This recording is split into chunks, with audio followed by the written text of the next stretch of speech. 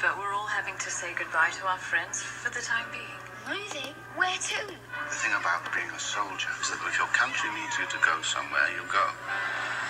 Think of it as an adventure, like in one of your books. Children, look. Our new home.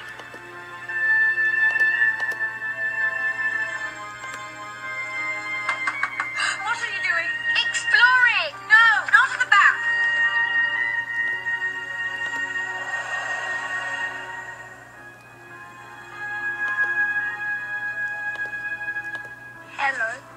How old are you? Eight. Me too. Why do you wear pajamas all day? The soldiers. They took all our clothes away. My dad's a soldier, but not the sort that takes people's clothes away. That one there, two there. This one. No, that one. No.